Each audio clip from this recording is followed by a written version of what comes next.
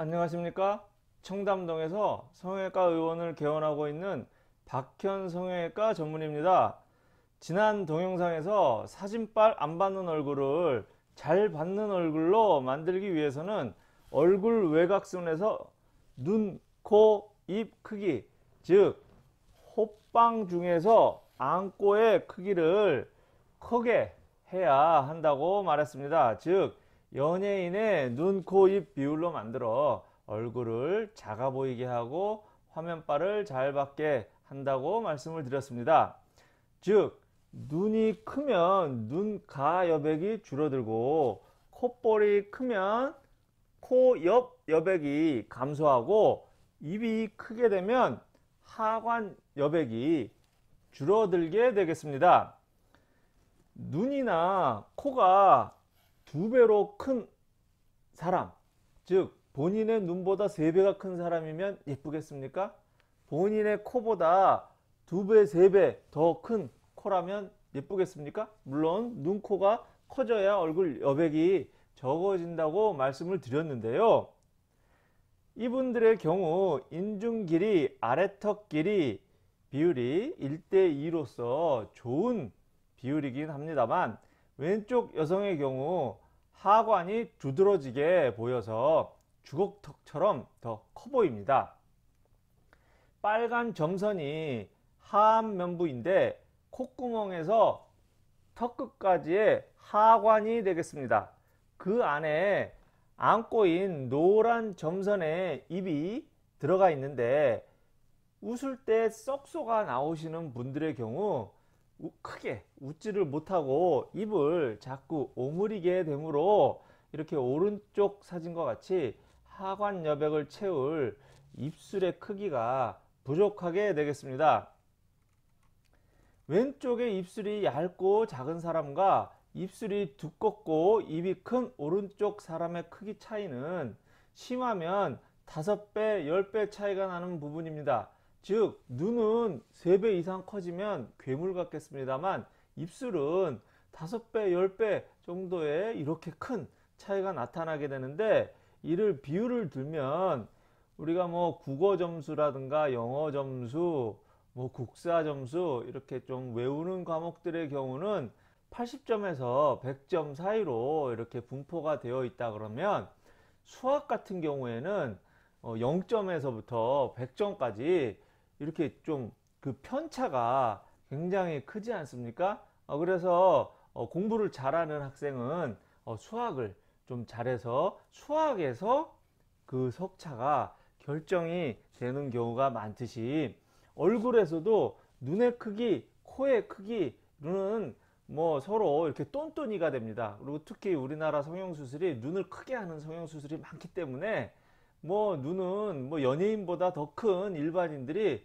어, 눈 큰 일반인들이 많을 정도로 그렇게 눈은 아주 큰 사람들이 많습니다. 그렇지만 제가 지난번 그 인류 연예인은 하관이 예쁘다 라는 동영상에서도 말씀을 드렸습니다만 눈 큰 여자들은 많은 반면에 이 하관이 커서 예쁜 여자들은 인류 연예인이다 이렇게 말씀드렸듯이 이렇게 미의 기준에서 좀 차이가 이 하관과 입술에서 차이가 난다 라는 저의 견해입니다. 이런 거는 저의 주관적인 견해이기 때문에 꼭 이렇다 저렇다 이렇게 확정적으로 어, 생각하지 마시기 바라겠습니다.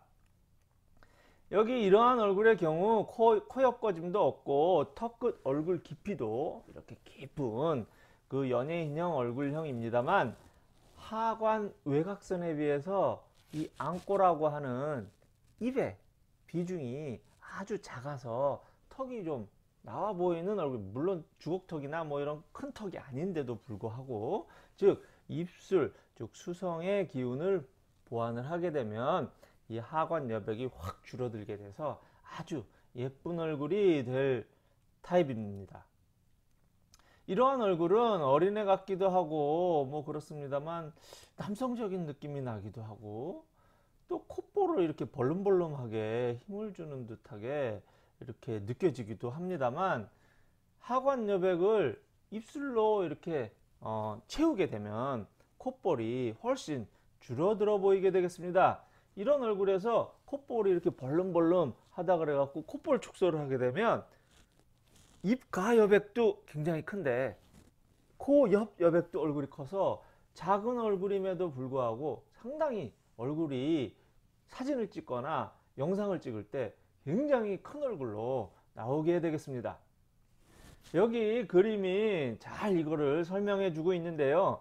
여기서 노란 점선, 즉 콧볼도 상당히 퍼져 있습니다만 그 하늘색 점선이 콧볼보다 더 퍼져 있어서 콧볼이 얼굴 여백을 잡아먹고 또 입, 입술과 입꼬리가 이렇게 쫙 옆으로 가면서 하관 여백을 잡아먹어서 뭐 이런 얼굴을 사진을 찍거나 카메라 영상 작업을 하게 되면 이 여백이 별로 없이 아주 예쁜 얼굴로 나오는 얼굴이 되겠습니다. 이 사진들을 입을 가리고 콧볼만 보게 된다면 다들 뭐 이렇게 콧볼이 너무 퍼져 있기 때문에 콧볼 축소를 해야 되겠다 라고 하시겠습니다만 방금 전에 설명드린 바와 같이 이 콧볼의 폭과 입술의 폭의 이 비율이 콧볼이 커 보이지 않게 되는 비율이 되겠습니다. 즉 콧볼만 보면 퍼져 보이지만 입, 입의 그 비율을 조절해서 콧볼 폭과 입술 폭을 조절을 해서 이 장점만 서로 취하는 성형이라고 할 수 있겠습니다.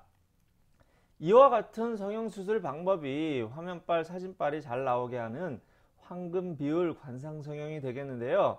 이러한 관상 성형의 가장 중요한 포인트는 눈이 크되 돌출눈처럼 보여가지고 막 너무 싸납게 보이지 않아야 하고 코의 비중이 상당하되 코주부처럼 보이지 않아야 하며 이 하관을 아우르는 이 입술의 기운이 빵빵하니 아주 좋되 흑인 입술처럼 이렇게 튀어나와 보이지 않아야겠습니다.